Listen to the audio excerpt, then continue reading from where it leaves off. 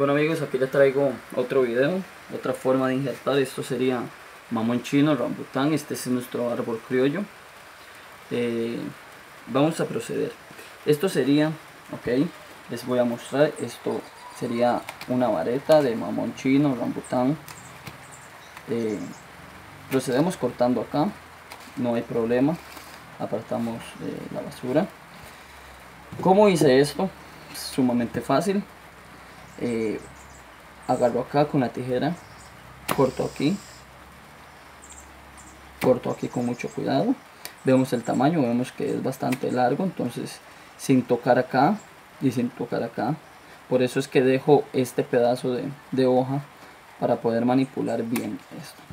Ok con nuestro cuchillo y con mucho cuidado vamos a proceder a hacer este corte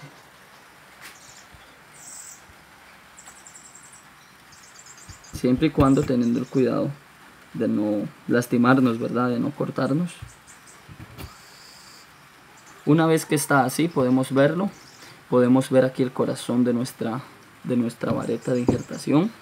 Con esta pequeña cuchilla vamos a hacerle aquí un corte. Esto es una navaja o es una gilet conocida.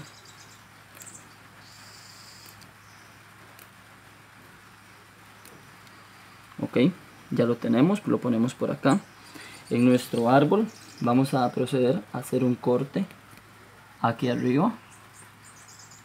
Ok tal vez ahorita no lo puedan ver un corte aquí arriba. Un corte eh, por aquí abajo. Por eso es que utilizo esta navaja pequeña. Procedemos a unir corte con corte acá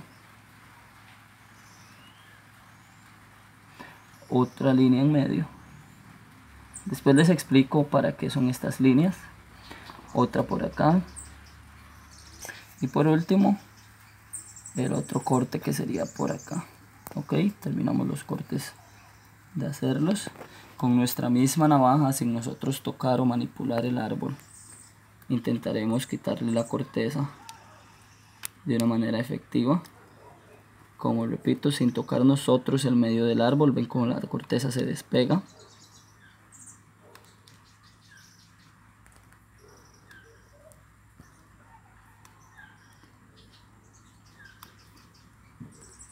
Con nuestra mano intentamos jalar sin tocar lo que es el árbol. Podemos tocar solo la corteza aunque mis manos están debidamente lavadas desinfectadas pero de igual forma, si queremos tener una alta probabilidad de, de lo que es un injerto de una manera bien hecha, tenemos que seguir paso a paso eh, lo que sale en nuestro video. Cualquier pregunta, eh, sugerencia, pueden dejar un comentario en nuestro video y con gusto estaré respondiéndoles. También no olviden suscribirse o darle like a mi video. Vemos el tamaño del cuadro, más o menos comparando a nuestro, a nuestro injerto, ¿verdad? Vemos que le hace falta un pedazo acá arriba. No se preocupen por eso. Eso no pasa, no pasa nada. Eh, hacemos un pequeño corte arriba también. Estos cortes son para que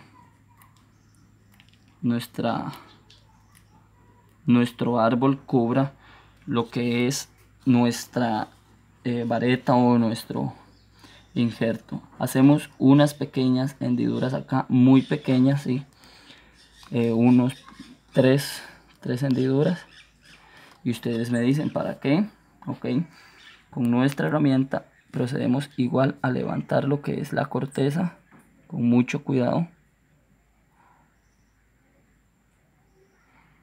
Vemos que la corteza se va levantando.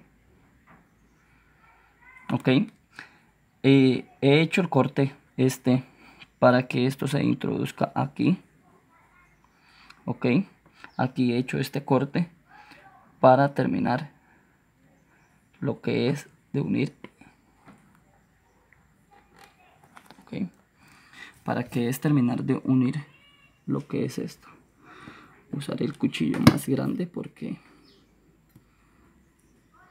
estoy viendo que esta gilet o esta herramienta eh, le hace falta un poquito tal vez de no de filo sino de, consistencia más dura verdad ok procedemos sigo con, con lo que les estaba diciendo. Procedemos a meterlo acá. Procedemos a ver vemos que no está pegando en su totalidad.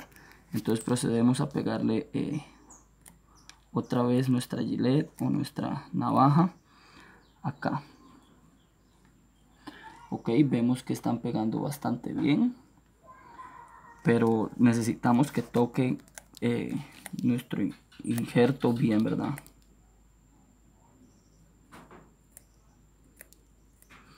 les estoy dando paso a paso un método bueno de injertar.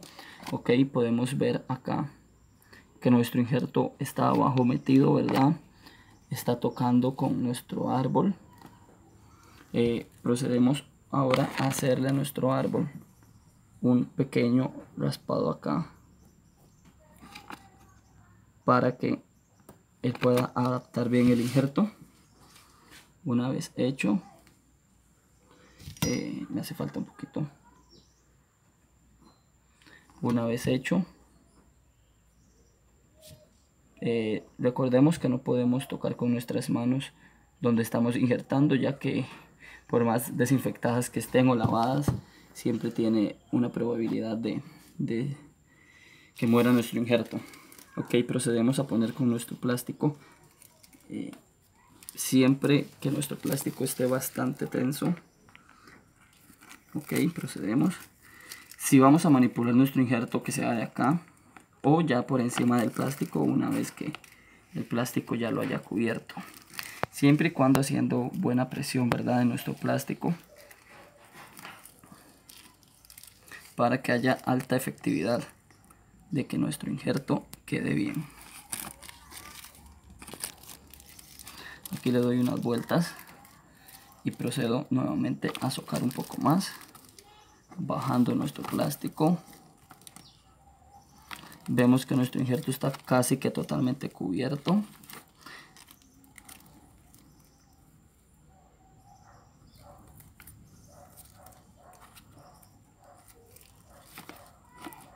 procedo a estirar para el último socado que sería aquí.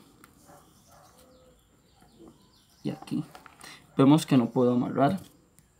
Entonces lo suelto un segundo. Sujetamos lo que sería agarramos lo que sería cinta cinta adhesiva. No, no se preocupen si se zafa.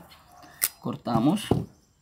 Lo pegamos por acá para que para mostrarles. Vuelvo a socar sin ningún problema. Me injerto porque ya no se está moviendo. Agarro acá. Presiono bastante.